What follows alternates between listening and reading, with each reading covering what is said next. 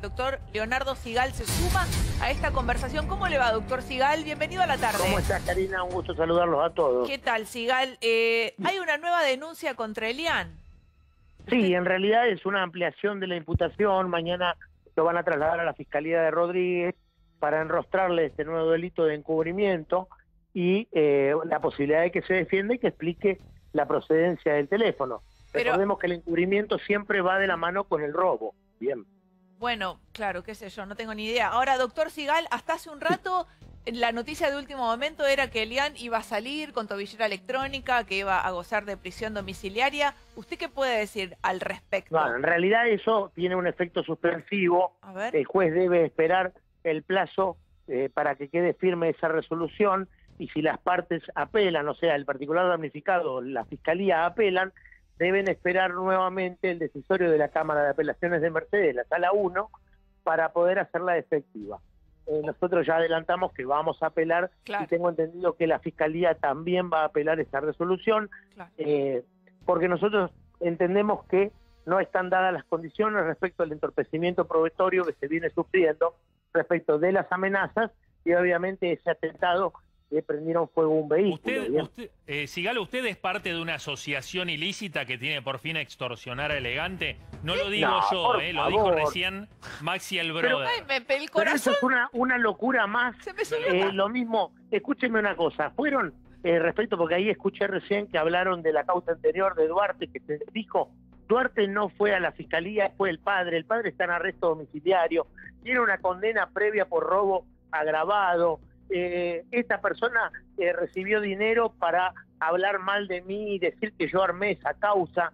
El, el Ah, está todo. citado a la fiscalía y nunca se presentó, pero eh, y, y es una locura. El padre también no es parte del expediente. El padre apareció hace Espere, poco. espere, doctor, espere, que espere, la espere. madre. Espere, Sigal, espere que está tiro, está eh, tipo Sí. Rambo, entró a tirotear con todo. Espere un poquito, Sigal, porque me va a volver loca la audiencia. A ver, hace un instante mi compañera Cora de Barbieri mencionó un Sí. episodio en donde Sí. también señalaron a Elegante y le adjudicaron como, como el delito de haber golpeado a un chico, un fan, Sí, pero finalmente esa, esa persona al par de días fue con su padre a testificar y a decir que nada de eso había No, ocurrido. no, fue el padre. Ese chico nunca fue a la fiscalía. Fue solamente el padre que pidió declarar. Lo tuvieron que trasladar con un móvil porque está en arresto domiciliario por falsificación de documento público. Ah, y esta persona recibió dinero para decir eso, pero el- el- el- la verdad es que ese chico, la tutora legal es la madre, es Débora, y no se retiró nunca la denuncia ni dijo el chico que ese hecho no ocurrió, lo dijo el padre porque recibió, tengo entendido, 100 mil pesos para hacer eso. Ah, bueno. Bueno, Ah, hay que ver si dinero, amenaza, Pongamos las las dos cosas como cosas. son, Karina, porque Sigal, si no... Le compraron el relato. Está diciendo Sigal que le compraron un nuevo relato. ¿Esto qué significa? ¿Quién pone la plata? ¿El manager? ¿De dónde viene esa Bueno, plata que usted eh, dice? hay un testigo que del barrio Bicentenario que dice que lo vio, que fue a cobrar al barrio Bicentenario en su momento, antes del arresto domiciliario, y que después ahora salió al cruce a decir estas barbaridades, pero la realidad es que él no es parte en la causa porque no es el tutor del menor. O sea, este, este hombre nunca estuvo en la vida de ese chico, fue criado por la madre, Ah, y nosotros en su momento se hizo una mediación con el doctor Cipola, el doctor Cipola hizo un ofrecimiento, eh, fue rechazado al igual que por Rocío Vicente, que es la otra víctima, y quedó en eso. A ver, yo no soy, no pertenezco a ninguna asociación ilícita, en ningún Mm. momento jamás se le requirió dinero a la otra parte.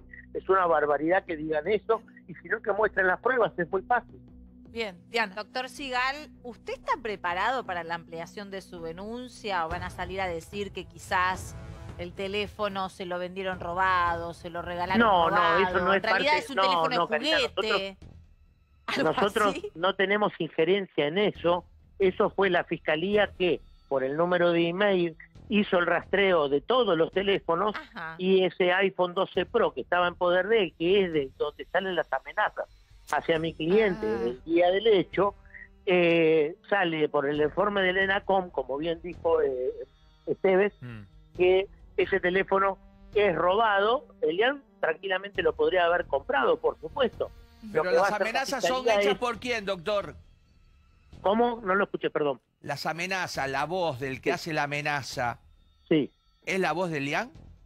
No, el tema es que como Elian no proporcionó el código y no quiso identificar cuál era el teléfono de él, no, eso no se sabe. Lo que sí se sabe es que, de ese digo, número bueno, van a que salir a decir impactó que en no el, es el el teléfono número de, de mi cliente, ¿se entiende? Bueno, eh, eh, doctor, recién eh, su representante, Maxi, Sí, estaba diciendo, por eso justamente la pregunta está buena esta del iPhone 12. Dijo, él tiene Sí. un iPhone 13 y un iPhone 14. El iPhone no, 12... tiene un no- 12, 13 y 14, son bueno, tres no, no, pero por eso, por eso, pero dijo, el iPhone 12, que dicen que es robado, no sabemos si él lo usa. Entonces, ¿quién tenía ese teléfono? El iPhone Bueno, 12. Bien, Está Claudia. impactado en el teléfono, ese número, ese email, es el que se comunica con el teléfono de la víctima eh, tres veces antes de la privación ilegal de la libertad y eso está aprobado en la causa. Entonces no digamos que no lo usa porque eh, eh, coincide el Es horario. lo que dijo Maxi, ¿eh? Pero Es ¿cómo, dijo doctor, lo. ¿cómo asocia Sí, sí, sí. a Elian con el teléfono? ¿Cómo sabe que por, es él por la el, el, digamos, el geolocalización, eh, responsable? Ventura, ¿Cómo? por la geolocalización. Pero qué, qué- a ver, pero ¿qué asocia? ¿Asocia la figura de quien está denunciado con el teléfono? ¿Cómo sabe que fue él el que lo usó? porque el número este de email corresponde al llamado eh, de segundos, que dura segundos, eh, con el número de la víctima. O sea, eso lo hizo la fiscalía. Pero no puede haber ¿Se sido entiende? emitido ese mensaje por otra persona, pregunto. Bueno, en realidad, si, si Elian Valenzuela hubiera da- aportado, hubiera colaborado con la pesquisa y hubiera aportado eh, el código del celular, eso se podría haber sabido, pero él eh, no quiso proporcionar esos códigos y eh, tampoco se sometió a las preguntas de la fiscalía. Sigal, ¿qué, qué quiere usted para elegante? ¿Que pase 15 años preso?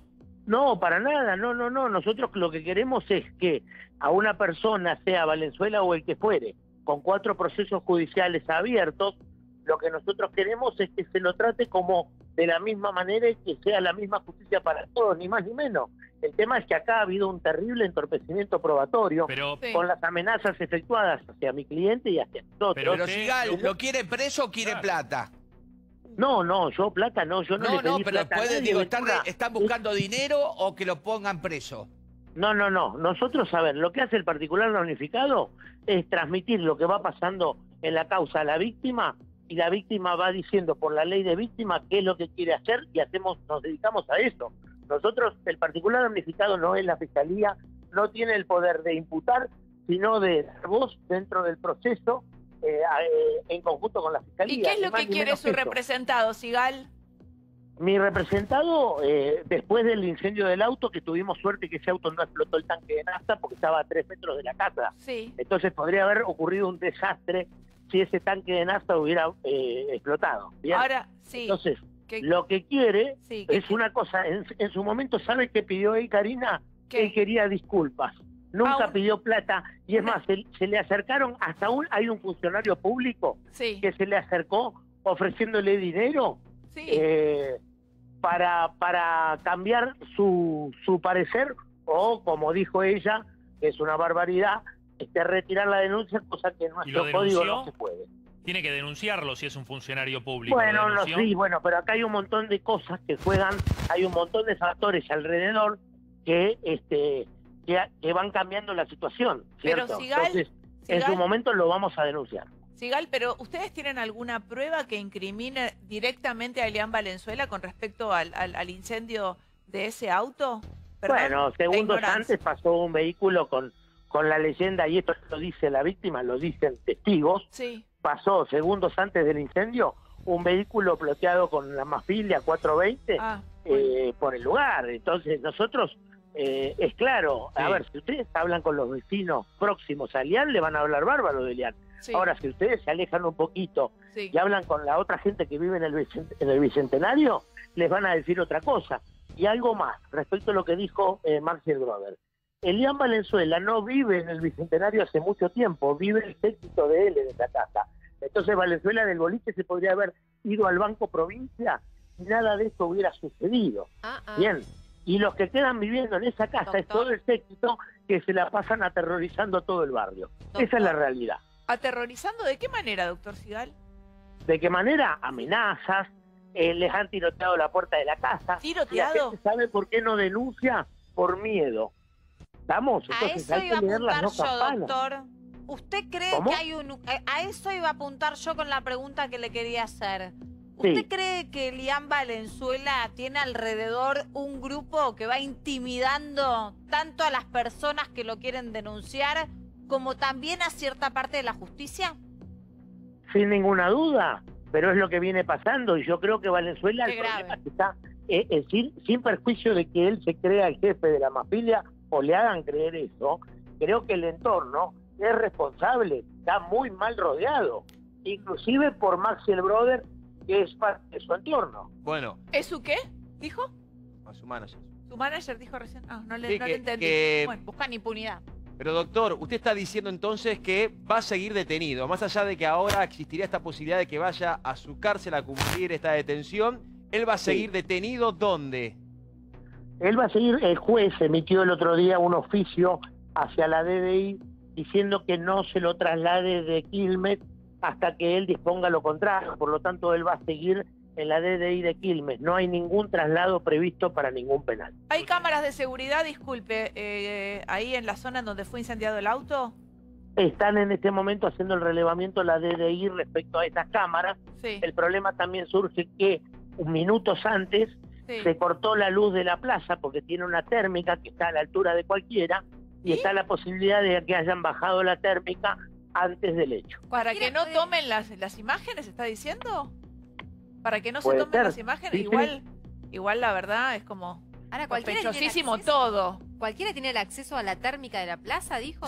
Lamentablemente sí, porque está en una columna al alcance de cualquiera y no ¿Mm? tiene ninguna medida de seguridad. Hay que levantar la tapa y bajarla, nada más. Desastre. Bueno, ¿qué más? ¿Al- ¿Alguno tiene alguna pregunta más o lo Que hay que reconocer de cierto modo que lo que está haciendo Sigal hoy, la verdad que es un abogado que está cumpliendo con lo que él quería, Sí, mantenerlo detenido a elegante. sí. Entonces, yo hoy estoy observando que Sigal sigue manteniendo su línea y está logrando el objetivo. ¿Por qué logra el objetivo Sigal? Porque lo tiene en la cárcel a elegante. ¿Usted pensaba, Sigal, que lo iba a tener a Elegante encerrado más de un mes?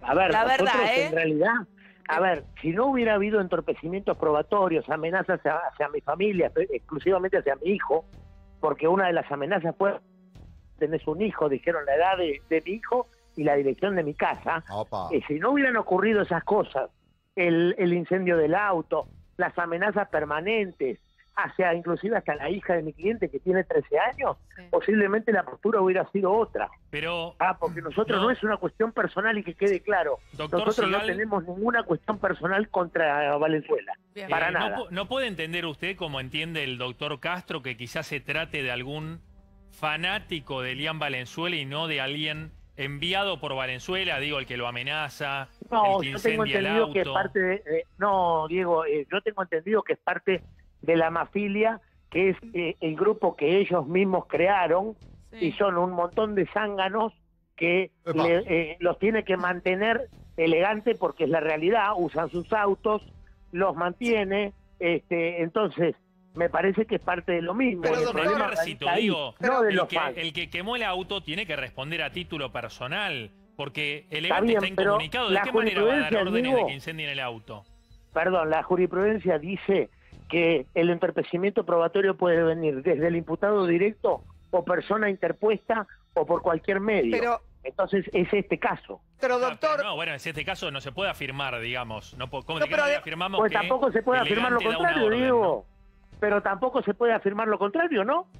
No está bien, doctor, pero Bueno, yo pero digo... hasta, hasta que no se pruebe es, ino- es inocente. No, pero además, Rige el hay, principio de inocencia. hay otra cosa. Todo este grupo que lo sigue a él y que en definitiva lo sigue perjudicando. Porque si usted dice que de no haber Pero ocurrido las amenazas, espere, espere, digo, el auto, el incendio, y él hubiese podido salir, digo, ¿no se dan cuenta estos chicos que si usted dice que los mantiene elegante haciendo esto, no va a salir nunca de la cárcel? Pero yo me cansé de decirlo y ¿sabe qué es lo grave? Que de la otra parte ni el doctor Merlo ni nadie del entorno salió al cruce a decir nosotros no prendimos fuego el auto, no estamos amenazando. Nunca lo dijeron. Pero Al contrario, este señor Maxel Brother se la pasó Ah. posteando mi cara en su Facebook con la cantidad de seguidores que tienen para que a mí me amenacen, me Claro. insulten como Eso pasa todos los días en las redes Sigal, sociales. El, el auto que se incendió, eh, ¿puede ser que sea de la municipalidad o es Es particular? correcto, la mujer de mi cliente es fotógrafa de la municipalidad, tenía este auto a cargo y el bien ese es de la municipalidad. Claro, porque lo que se dejó trascender de parte del entorno de Elegante es que habría sido un autoincendio. Sí, igual. Un, incendio Está- está autoprovocado entonces- para única- fortalecer la, Yo- la La única forma que elegante Eh, a ver, yo le hago una, Diego, te hago una pregunta.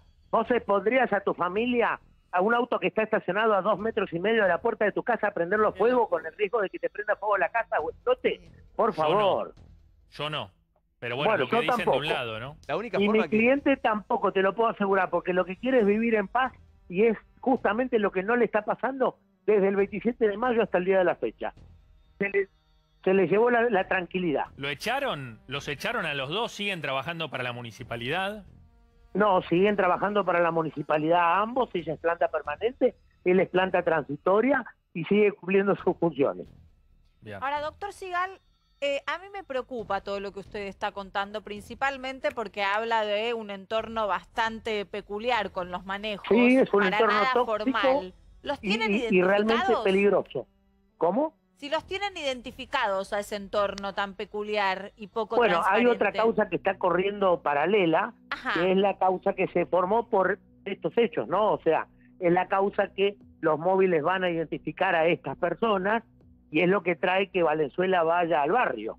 Esa causa se está investigando y acá, a ver, si se ponen a buscar puntillosamente van a saber quiénes son, tienen todos antecedentes penales y se la pasan haciendo cosas que no es trabajar justamente. Bien. Vamos, y ese es el séquito y es el entorno que tal cual como ustedes dicen, lo perjudica día a día. Claro. Que no tendría, a ver, el resto de los músicos no tienen 420 ni mafilia, ni un séquito de personas que van vestidas con una K-47, los autos floteados y que van por caravana o con la cara tapada arriba de una camioneta, le puedo mandar las fotos, no tengo problema.